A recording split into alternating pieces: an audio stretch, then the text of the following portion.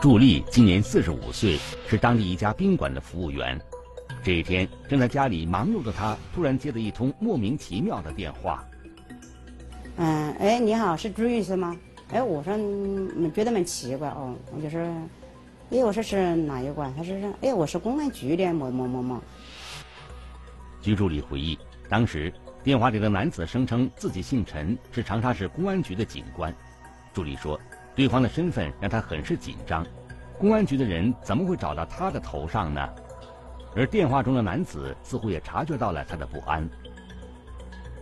他说：“现在就是，哎，没有，你不要紧张了，那个。”我说：“他说，那你的身份证有没有调过？”我一想，我因为我前几天我的身份证确实是调过，是不是？就是没个问题。他说：“那就别个把你的身份证就拿到办那个，嗯，我的我的银行啊，就是办的某个，嗯，卡里面有好多钱。”电话里的人告诉助理。他们正在侦办一起大的案件，发现有一个可疑的账户是以他的身份信息开设的。他们怀疑有人利用助理的身份进行犯罪活动，并主动要求助理核实他的身份。他说：“你你拨个拨个号码，你就拨，你要把我的身份证证实一下的，你再我们两个人再谈。拨拨幺幺四噻，我打了，是吧？我说这个电话号码是是谁的？他说：哎，是嗯，某大公安局的那个。”哪个哪个那是长沙公安局或者哪么的？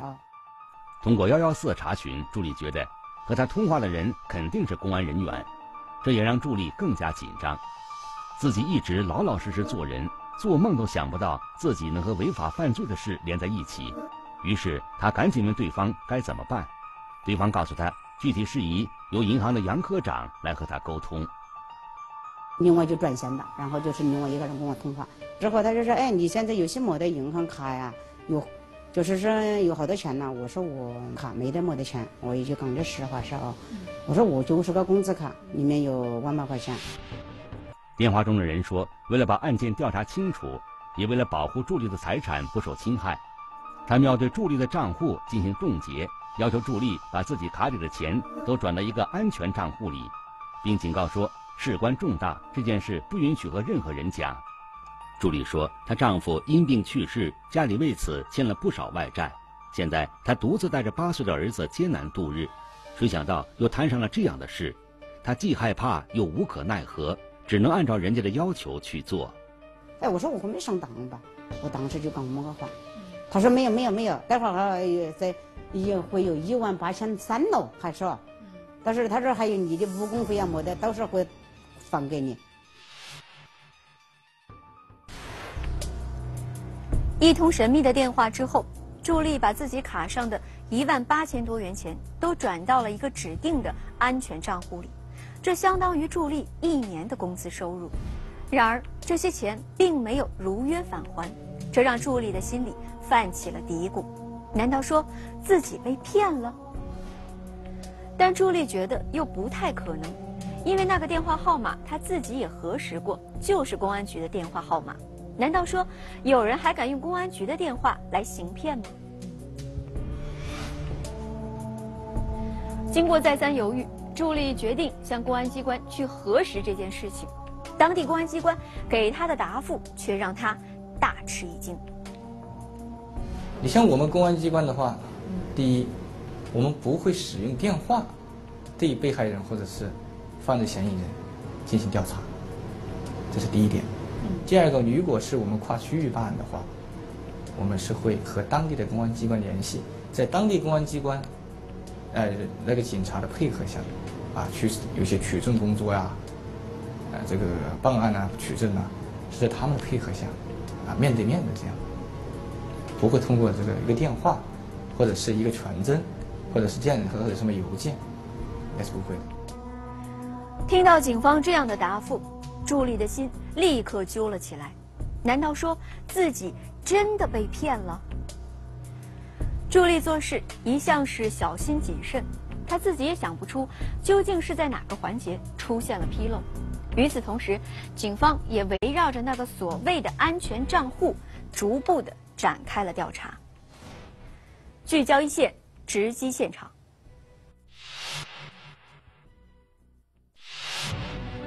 一通神秘来电迷惑视听，他说那就别干把你的身份证就拿它办那个卡，里面有好多钱。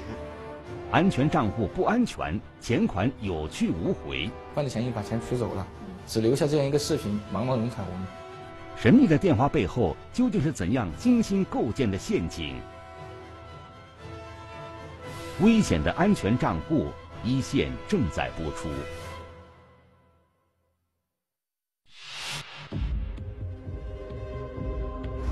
当时立案了，立案了。嗯，对，立案了之后，我们对整个对整个案子进行了这个侦查嘛。首先对他这个嫌疑人的账户啊进行了一个进行了一个查询。调查显示，助理所说的安全账户实际上只是一个普通的私人账户，而开户人为湖北荆州的一位女性。当时侦查员问我要这个开户信息嘛，也去做了一些基础调查工作，嗯，通过一查啊，他的现实表现啊、活动规律啊，呃，去去一接触一一调查的话，实际上他应应应该是说与诈骗没有直接的关联，没有直接的关系。警方调查后发现，对自己名下这样的一个账户，开户人根本就不知道，这也就意味着，开户人的身份信息很可能是被人利用了。而办案人员在调取了该账户的流水后发现，助理转过去的那笔钱，在随后的一个小时内就被取走了，而取款地却是在贵州。这个线索就中断了，犯罪嫌疑把钱取走了，啊，只留下这样一个视频，茫茫人海，我们可能也啊。视频显示是个什么样什么样的人？当时是一个，呃，大概六十岁左右的一个老头子，啊啊，戴了这个戴了这个有有前沿的这种帽子。还戴了个眼镜，显然是经过伪装的。直到此时，助理才确信自己真的被骗了，他的心也如同掉入了万丈深渊。就说我现在就是钱弄丢的啊，是我个人没用。一个那你男人走的时候，我都是借的账，还有借款，你说是影响大不大？对于这样的结果，助理有苦难言，而助理的遭遇则让办案民警联想起不久前发生的另一起案件。也是这个整个程序都差不多，啊，就是哎，我这个是呃哪个公安局呃公安局的这样一个民警，哎，你的身份证啊，这个呃现在啊被一伙贩毒的嫌疑人啊通拿起拿了你的身份证，在这个银行开户，啊，开户的话，你的这个东西就涉及到你的资金有问题啊。据了解，这起案件的受害人为李县一名龚姓男子，他受骗的过程几乎和助力一模一样，不同的是，龚先生被骗了八万多元。当时，龚先生发现钱没有返还到自己的账户里，他把电话回拨过去进行询问。哎，我一想，就不对呀，怎么，啊，你马上我再打的电话，电话就打不通了。连续发生了两起案件，如出一辙的作案手法引起李县警方的高度重视。并立即着手对同类案件进行梳理。这个我们说是民生案件，关系到人民群众的财产安全，啊，虽然好像不是，呃，杀人啊、放火这么严重，但是，呃，这些钱往往是人民群众的血汗钱。包括我们公安机关的某个领导或者我们公安机关，嗯，呃，本身对我们公安机关，呃，这个也是一大名誉啊，也是一大损害。经过初步的摸底，警方发现，仅2013年一年，在李县发生的冒充公安机关诈骗的案子就有三十多宗。这一结果让警方大为震惊，也引起了湖南省公安厅的高度重视。随即，由湖南省公安厅牵头，常德市公安局、李县公安局成立了专案组，一场打击电信诈骗的专项行动悄悄拉开了帷幕。变侦查这个时候，我们就收集，开始收集。从整个全市，在正常来说是李县，从整个全市来收集这么些案子，这个样这样去并案的话，可以可以获得更多的线索。那么这些骗子究竟是些什么人？那些公安部门的电话号码又是怎么回事？因为嫌疑人只是和受害人通过电话，并没有实际接触过，而在前期调查中，对有关安全账户的追踪已经被迫中断。也就是说。目前，警方手中掌握的唯一线索就是银行取款人的监控视频。这个案子发了以后，犯罪嫌疑人要取款，那我们就从这个取款啊，从这里以他为突破口来进行侦查。警方调查后发现，有关可疑账户取款的地点通常不在受害人所在地，而是远在贵州、陕西、湖北、广州等多地。于是，办案人员兵分几路，远赴嫌疑人取款的地点，调取了两千多小时的监控录像，进行海量分析，试图从中发现蛛丝马迹。通过一些细微特征，啊，取款人的细细微特征的动作呀。啊，穿着呀，其他的这种细微特征去甄别，把他在这个地图上面，按照这个时间日期，什么时间，在哪个地方，啊取款，把他这个整个的活动轨迹，把它在地图上面很清晰的标示出来了。经过海量的筛查、分析、对比，办案人员注意到，有五名可疑人员频频出现在监控里。随即，办案人员对这五名可疑人员的活动轨迹进行分析锁定，以确定他们的真实身份。与此同时，专案组派出警力在可疑人员出没的银行网点及其附近区域进行走访。如果这些经常取款的话，他有可能银行里工作人员是认识他的，有可能公安机关在这个以前的侦查过程中，对这个人进行打击过。终于，一个频频出现在取款机前的嫌疑人浮出了水面。这个人曾多次取走可疑账户里的钱。天门呢，仙桃啊，钱江，啊，这又，啊，后期他又转移到广州、到武汉这些地方多次取过款。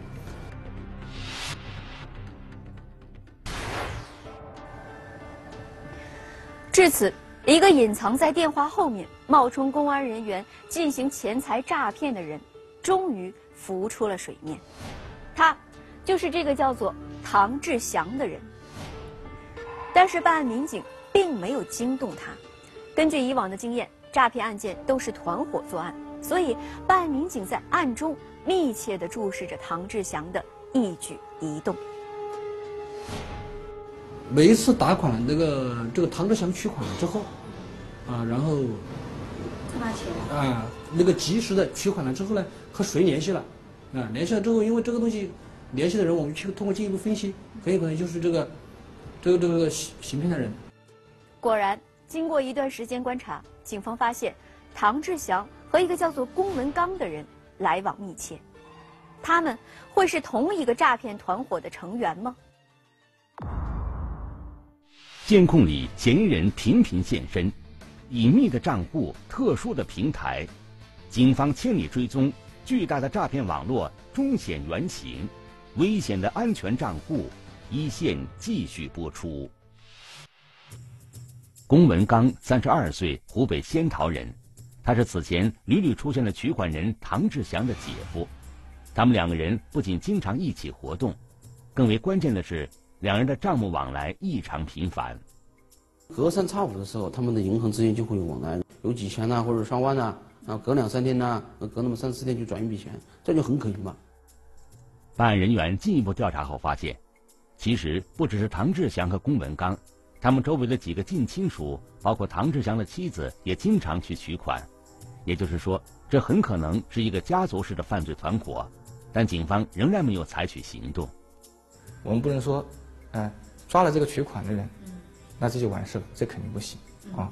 我们要把他幕后的诈骗团伙要挖出来。通过对唐志祥、龚文刚的账户仔细的分析，细心的办案人员注意到，每隔一个星期或者十天左右，他们就会给一个固定的账户打款，从五百元到一千元不等。行骗的人为什么把钱定期打给这个账户呢？于是，收款账户的开户人又成了该案件的重点怀疑对象。去那噻，下面这是么子？就是就是办简历介绍，就直接到他的那个屋里去的。嗯，这就。经过调查，办案人员发现，可疑账户的实际持有人租住在武汉某小区的一栋居民楼内，好像还开着一家公司。啊，他们都是自称的，自称姓王啊，啊，和团伙成员是王老板呢，啊，下面的团伙找他们都是说王老板，王老板。经过一段时间的追踪，警方断定，这应该就是给龚文刚、唐志祥等人提供某种服务的窝点，并且该窝点不仅仅为龚文刚一个团伙提供同样的服务。租住在武汉另一个小区的一夏姓男子也经常有规律的往这一窝点的账户汇款。就这样，又一个疑似诈骗团伙进入了警方的视线。紧接着，警方又陆续发现了遍布在武汉、株洲、宜昌、仙桃等地的冒充公安机关进行电信诈骗的犯罪团伙，受害人范围之广更是触目惊心。分析这个这个团伙啊，这个电信诈骗呢，它是针对我们全国多个省市，呃，除了西藏啊，呃，呃等少数省份没有涉及到以外，全国大多数的省市都涉及到了。经过办案人员近一年时间的努力，一个特大电信诈骗网络清晰地展现在专案组的面前。二零一四年十二月十七日上午十点左右，随着专案组一声令下，已经在武汉、仙桃、宜昌等地待命的一百二十名民警同时出动，展开抓捕行动。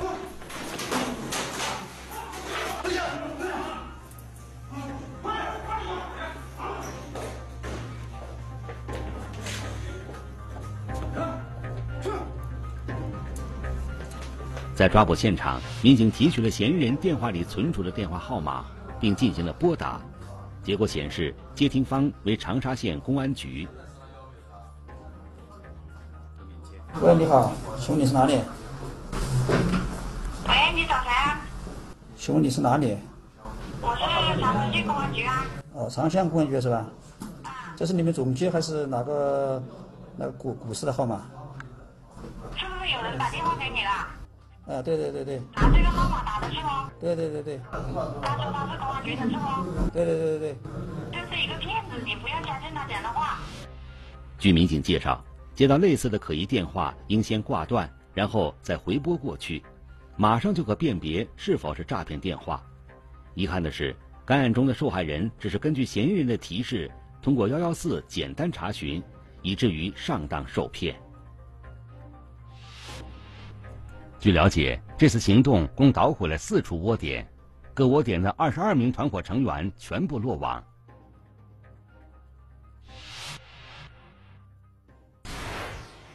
一个特大诈骗团伙被打掉了，可是还有一个谜团尚未解开，那就是迷惑了众多受害人的公安局的来电。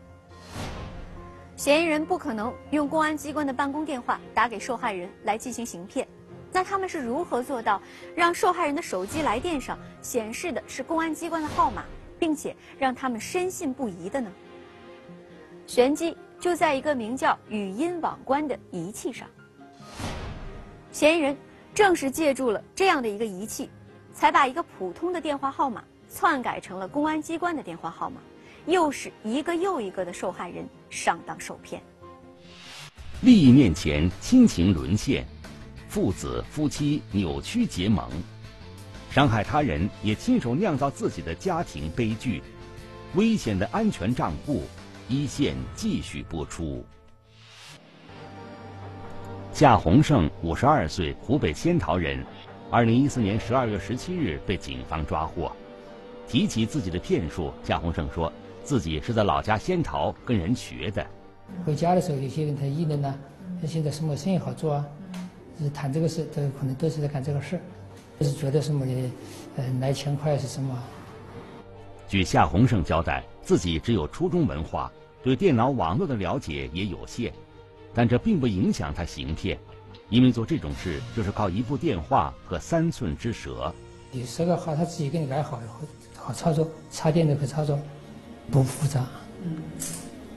夏洪胜说，为了逃避警方的追踪打击。他们通常都会对电话号码进行修改，但一个普通的电话号码不足以对受害人造成足够的压力。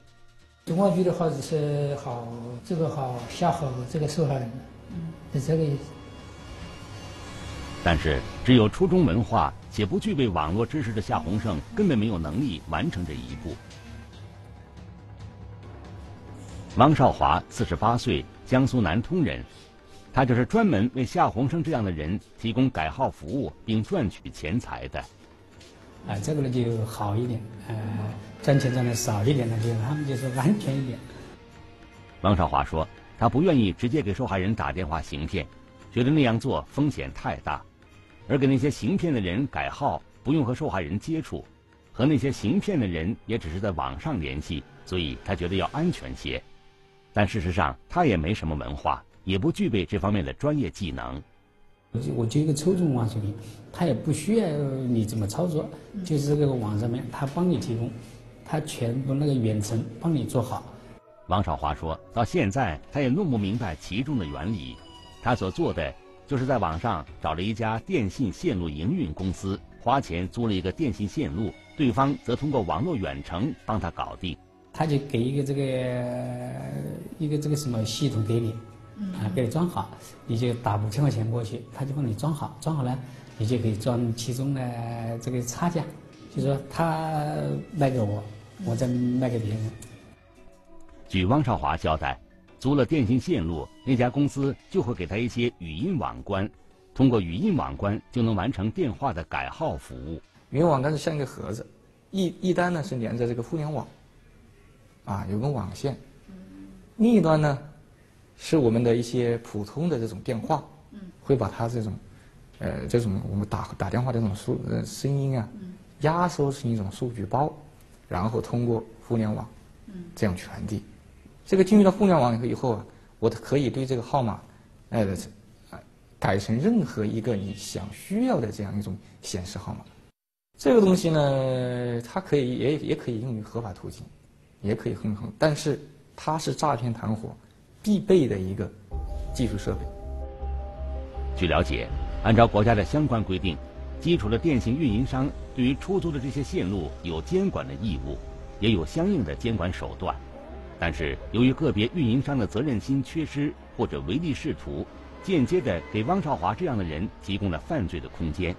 这个改号的也是他告诉我，他他那个鼠标，他他指哪里，啊，你就用那个本子来记一下，他指哪里你就跟呃怎么改。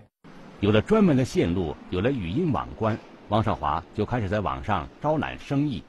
要是做的好的话，做一个客户挣三十块钱。三十块钱啊，对，就是你帮他改个号。嗯，一家一个一个人一家只能赚三十块钱。夏洪胜就是汪少华在网上招揽到的客户之一。根据夏洪胜的要求，王少华把一个普通的电话号码改成长沙市公安局的一个电话号码。随后，夏洪胜又在网上购买了大量的私人信息。这是通过 QQ 联系的，网上 QQ 联系号码。在行骗过程中，一方面夏洪胜打着公安部门的旗号，另一方面他又能够准确说出受害人的个人信息，这很容易让受害人失去辨别能力。为了逃避打击，夏洪胜还在网上购买了银行卡，而这也就是他们向受害人讲的所谓的安全账户。网上买的那个卡，银行卡，就是这个卡跟你本人或者认识的人是没有关系的。那不跟这没关系。网上买的，一般多少钱一张？三百。三百块钱一张银行卡，就是是谁的名义开的，你也不知道。那不知道，反正居上我也买他八张卡的。有专门的开伙的开卡的团伙，啊，开卡的人，嗯，他们是通过自己的一一套办法，啊，一套途径，啊，获得一些身份证，然后去开卡，开卡之后，然后以一定的价格，啊，几百块钱不等的价格，然后去卖给这个诈骗团伙。实名制嘛，就是要本人是本人的身份证。去开银行卡，呃，但是往往在这些我们这些相关部门呢，呃，这个这个这个这个在在我从工作当中没有很好的坚持，所以就给了这些犯罪嫌疑人呢有可乘之机。二零一三年夏天，夏洪胜在武汉一个高档小区租了一套房子，开始了行骗生涯。因为自己文化水平不高，语言水平有限，他就专门找同行给他写了台词。以及公安部门办案的一些专业术语用词，以免伎俩被受害人识破。你就是打电话被台就，是被这个什么的，呃，台词吧，什么什么的，冒充请问这些台词要背一下，记住了。开始就把每一步该说什么话，啊，这个下一步说什么话，都有一个本子写在纸上面。但是我们文化程度或者是外面的身份见的多一点的人。啊，不按照他的这个套路去拍，不按照他这个这个这种思维走下去的话，他可能这个这个案子他就扎成不了了。据了解，为了把受害人拉入陷阱，夏洪胜常在电话中扮演不同角色。在对受害人助力的行骗时，他既是长沙市公安局的陈警官，又是银行的杨科长。他是第一个，他是用普通话，他是没挑三拣四的，跟那主意似的，没得没得。我说，想了一大堆。他等于就就是八个，跟那牵线引头一样的，就是这我几几经就上当受骗的，就是这上钩的，他就换了一个人，换换一个人跟我两个聊的。我也是毛手警官，我也是毛手杨科长，一个人干。是你一个人，杨科长也是你。嗯，对。同你声音要变吗？声音稍微变一下呢，叫杨科长是变一下呢。就这样，一个又一个受害人落入他们的陷阱。看到轻易到手的钱财，夏洪生的儿子也加入进来。是什么时候开始住的？我是从呃呃，就是从一三年年底，嗯，找货找货拿货的时候。我要他试，他试一下，是之前是参与进来的，他搞了搞了不到几天嘛，儿子啊，儿子是我害了的。其实，不只是夏洪胜父子。据警方调查，这些电信诈骗团伙成员之间大多是亲人或者是亲戚，包括最早进入警方视线的嫌疑人唐志祥所在的团伙。唐志祥甚至把自己的妻子也拖下了水。所以说我对不起他嘛，我内心都跟他讲了。那他反正现在事情这个不是说，如果能够重新选择一次，我肯定不会做，对不对？据警方调查。在唐志祥所在团伙中，唐志祥主要负责取款，有时则换做他的妻子。他没负责干什么，他干的都是我叫他去干的，我比较懒嘛。嗯。有的时候。干什么？叫他去，嗯，帮忙取一下钱咯。